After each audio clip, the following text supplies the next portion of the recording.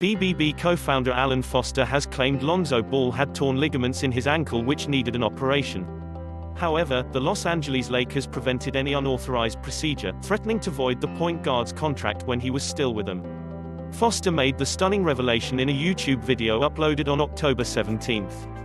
In his first public statement since being sued by LaVar Ball for embezzlement, Foster asserted that Lonzo's season-ending ankle injury last season as a result of the Lakers' negligence and LaVar's poor training of his kids.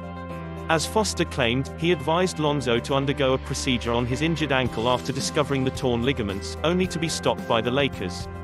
He then emphasized that it was not the quality of the Big Baller brand shoes that resulted in Lonzo's injury. Interestingly, Shams Charania of The Athletic reported the incident last February. Per Charania's report, Lonzo called Rob Pelinka before undergoing the procedure in Ohio. Pelinka then warned Ball that they could void his contract if he pushes through with it. So then decided to stop it, with the Lakers arranging his transportation back to Los Angeles. Lonzo Ball played in only 47 games for the Lakers last season before suffering his ankle injury, which eventually ruled him out for the rest of the season.